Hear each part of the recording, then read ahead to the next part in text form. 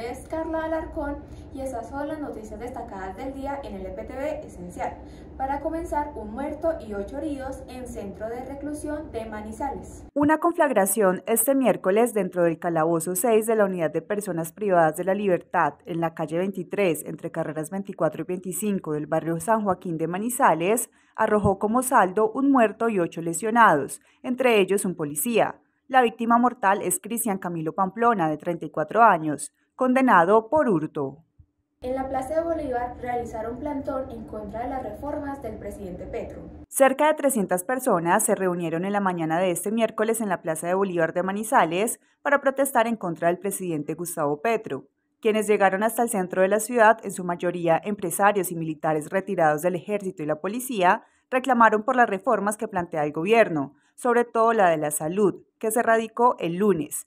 También cuestionaron el discurso de ayer del presidente, del que dijeron es una incitación a la violencia y que parecía más un nuevo candidato y no el jefe de Estado. Un menor de edad habría asesinado a Mayra en el barrio San Sebastián de Manizales. Mayra Alejandra Castro Valencia murió en la noche del lunes tras permanecer en estado de coma por una puñalada que recibió en la cabeza.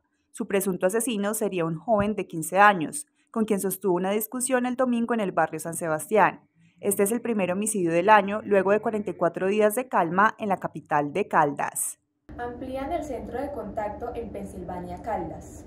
Empleados de la vivienda, de Emergia, de otras empresas privadas y de la alcaldía de Pensilvania se hicieron presentes para el acto de apertura al servicio de la segunda etapa del centro de contacto de este municipio del Oriente Caldense se crearon 64 nuevos puestos de trabajo y la meta es generar oportunidades laborales para unas 250 personas. La inversión llegó a 2.400 millones de pesos denuncian acoso sexual a estudiantes y agresión a docente en municipio de Caldas. Una mujer que ejerció como docente de un colegio rural de un municipio del centro sur de Caldas señaló a otro educador de acosar sexualmente a estudiantes de grado 11 y de agredirla a ella tras poner en conocimiento de las autoridades la situación. Ella manifestó que los hechos se dieron en octubre del año pasado, cuando las jóvenes se le acercaron y le contaron lo sucedido. Cuando denunció el hecho, el hombre la abordó dentro de la institución y la agredió física, verbal y psicológicamente.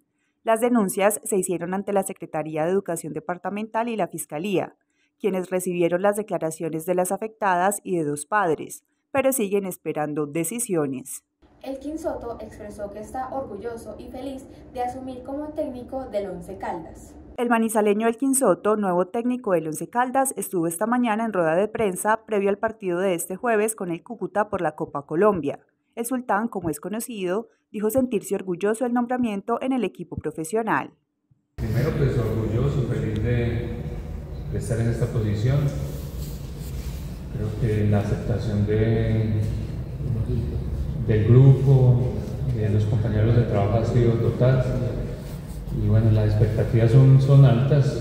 Pienso que se tiene un equipo bastante bueno con lo que se puede hacer un gran trabajo. Eh, sé que eh, empiezo una, una, faceta diferente a lo que, lo que venía haciendo, ya al frente de, de, de Once Caldas. Eh, sé la responsabilidad que, que, esto merece, así que pienso dar lo mejor junto a mi grupo de trabajo.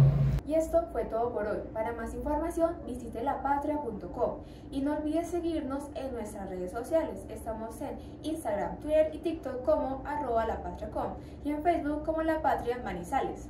Hasta luego.